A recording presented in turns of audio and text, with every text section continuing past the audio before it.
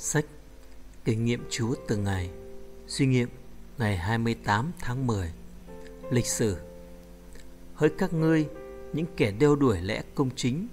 Hỡi các ngươi, những người tìm kiếm Chúa Hãy lắng tai nghe ta. Hãy nhìn vào vầng đá các ngươi được đục ra Vào hầm đá các ngươi được lấy ra. Esai đoạn 51 câu 1 Là những người theo Chúa chúng ta không bao giờ được bỏ quên di sản của mình. Sự ý thức về di sản của một tín hữu giúp chúng ta hiểu được căn tính của mình và cho chúng ta một cảm nhận thiên chúa đang dẫn dắt mình về đâu. Dân israel có một di sản phong phú. Quốc gia của họ được khai sinh là kết quả của lòng trung tín từ nơi abraham và sarah.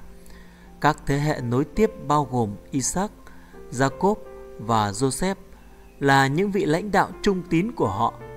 Chúa ban phước dồi dào cho dân Ngài và làm cho họ thịnh vượng. Chúa tiếp tục thể hiện lòng yêu ái đối với dân Israel bằng cách dẫn họ ra khỏi Ai Cập vào một vùng đất thịnh vượng của riêng họ. Chúa thiết lập nên dân tộc của Ngài qua một số phép lạ lớn lao nhất lịch sử. Chúa tiếp tục ban cho họ những vị lãnh đạo tài ba như Môi-se, Joshua, Gideon, Deborah, Samuel, David và Salomon. Ngài đã sai những tiên tri đầy quyền năng đến với họ như Eli, Esai và Jeremy.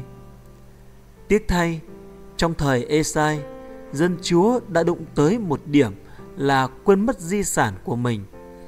Họ sống như những người nghèo khổ tâm linh hơn là những người thừa kế một di sản phong phú và là thành viên của một chức tư thế hoàng gia. Di sản tâm linh của bạn thậm chí còn phong phú hơn di sản của thế hệ Esai. Những tổ phụ phần tâm linh của bạn gồm có Mary là mẹ của Chúa Giêsu, rằng Baptist, các môn đồ, sứ đồ Phaolô và một loạt các vị thánh đồ qua nhiều thời đại. Quan trọng hơn nữa, bạn nhìn vào Chúa Giêsu là đấng khởi đầu và cũng là đấng hoàn tất đức tin của bạn. Hebrew đoạn 12 câu 2 Bạn có thể có một lịch sử của gia đình về sự trung tín bước đi với Chúa trải dài nhiều thế hệ. Bạn có thấy được bức tranh toàn vẹn về công trình cứu chuộc của Chúa không? Kế hoạch của Chúa có bạn trong đó, như đã bao gồm từng tín hữu qua nhiều thế kỷ. Chúa muốn bạn tham gia vào công việc còn đang tiếp diễn của Ngài để cứu chuộc một thế giới hư mất.